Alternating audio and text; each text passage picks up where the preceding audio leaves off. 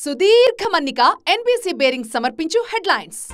Six breakings please yes get ready మనం అనుకున్న మాట ఎన్నికల షెడ్యూల్ ముందే రావచ్చు అంటున్నారు జగన్. దానికి సంబంధించిన బ్రేకింగ్ ఫస్ట్ బ్రేకింగ్గా మనం చూస్తున్నాము. ఇవాళ ఏపీ కేబినెట్ భేటీ జరిగింది.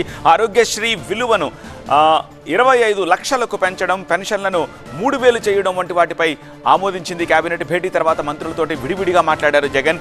ఎన్నికల షెడ్యూల్ సాధారణం కంటే ఓ ఇరవై రోజులు ముందే రావచ్చని ఆంధ్ర ఎన్నికలు సైతం లాస్ట్ టైం జరిగిన దానికంటే ఇంకాస్త ముందుగా రావచ్చని ఎన్నికలకు పార్టీ పరంగా సంసిద్ధంగా ఉండమని సీఎం మంత్రులకు ఆదేశాలు ఇచ్చారు. ఈలోపు మంత్రులు క్షేత్రస్థాయిలో సమర్థంగా పనిచేయాలని సూచించారు. అది ఫస్ట్ బ్రేకింగ్. సెకండ్ బ్రేకింగ్ ప్రజాప్రతినిధులపై కేసుల విచారణకు TS high court dead line yes దేశవ్యాప్తంగా ప్రజాప్రతినిధులపై పెండింగ్ కేసులు త్వరగా పరిష్కరించాలి అన్న సుప్రీంకోర్టు డైరెక్షన్ తోటి హైకోర్టు స్పీడ్ పెంచింది. తెలంగాణలో ఉన్న నూట పదిహేను పెండింగ్ కేసులపై ప్రస్తుతం ఫోకస్ పెట్టింది. వీటిలో ఉన్న ఇరవై కేసుల విషయంలో సిబిఐ కోర్టు రెండు నెలల్లో విచారణ పూర్తి చేయాలని ఆదేశించింది.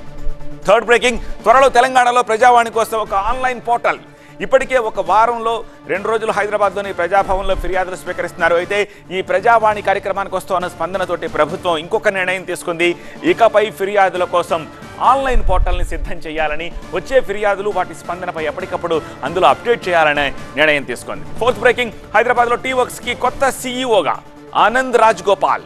మొన్న ఐపీఎస్లు నిన్న ఐఏఎస్లను బదిలీ చేస్తూ వచ్చిన తెలంగాణ ప్రభుత్వం ప్రతిష్టాత్మకమైన టీ వర్క్స్ కూడా సీఈఓను మార్చేసింది. ఇప్పటి వరకు ఉన్న సుజయ్ కారంపురిని తొలగిస్తూ ప్రభుత్వం ఉత్తర్వులు జారీ చేసింది. ఆయన స్థానంలో ఆనంద్ రాజగోపాల్ని కొత్త అధికారిగా నియమించింది. టీ వర్క్స్ కొత్త సీఈఓగా ఇప్పుడు ఆనంద్ రాజగోపాల్ నియామకమైనట్టుగా చూడాలి.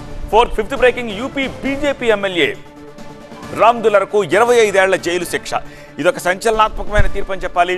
ఓ మైనర్ బాలికను రేప్ చేశారన్న ఆరోపణలు నిరూపణ అవడంతో ఇరవై ఐదేళ్ళ జైలు శిక్ష వేసింది యూపీలోని ఎంపీ ఎమ్మెల్యే కోర్టు. దీంతో పాటు ఒక పది లక్షల జరిమానా కూడా విధించింది. Final breaking sixth breaking colour smoke దాడి ఘటనలో మాస్టర్ మైండ్కి రిమాండ్.